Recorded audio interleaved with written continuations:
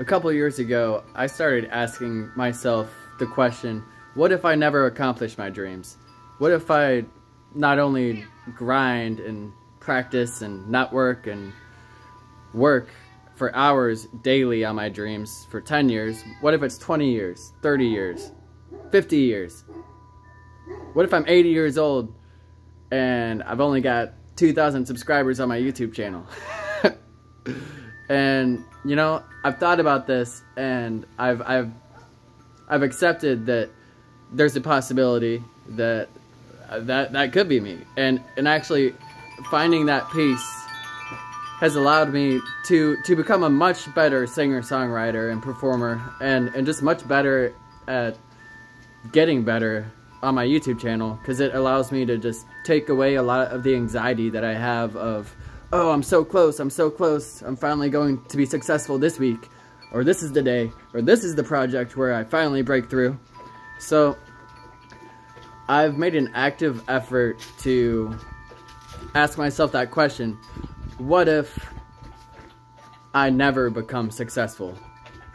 And asking myself that question with an open heart, not not like actually thinking about it in a way like, no, no. It can never be like that. I I can't live a life like that. Just thinking about me being okay with that uh, has allowed me to make room and find a way for me to enjoy and love the process.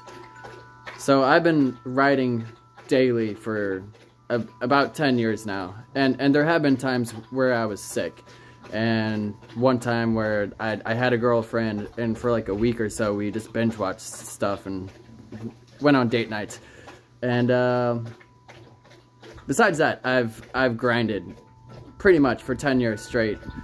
And uh, a couple years outside of those 10 years, I, I grind, grinded as well. Uh, so I've, I've put in over a decade of work. And uh, I have not reached the goal of being able to do this for a living. And it, it does bother me. But whenever I'm able to ask myself that question, what if you're never successful? Then it it takes away a, a, a, lot of that anxiety and a lot of the pressure that comes with me uh, and my expectations for for my goals and yeah and uh, oh yeah if if you guys see my eyeball uh, I got into a fight with like 20 velociraptors and beat them all up no no it was an accident um, a cup hit me in the face, whole thing. Anyway, that's irrelevant.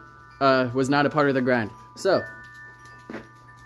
I have been grinding and been through uh, multiple um,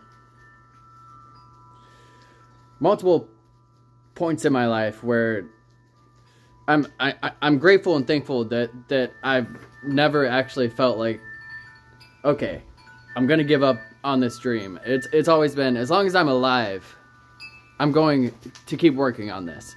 Uh, but there have definitely been points in my life where I've been just very angry and resentful whenever I don't reach goals, and then I start not taking account of, or taking accountability and actually growing myself.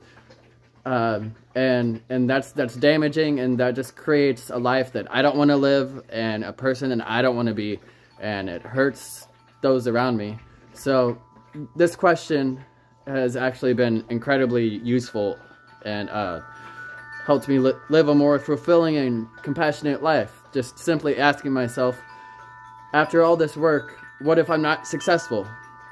Is it worth it? Am I enjoying it am I beating on my computer because it's lagging and, and I can't record the song right? Or am I taking a step back, maybe just singing the song a, a couple times, but in a way to where I'm actually enjoying it? And it's very powerful. So, is anybody else going through this? Anybody else going through expectations about your goals and, and not reaching them? Um, do you have any stories or uh, anything you'd like to share? Leave it in the comment section down below. Thanks for watching. For the animals! Woo!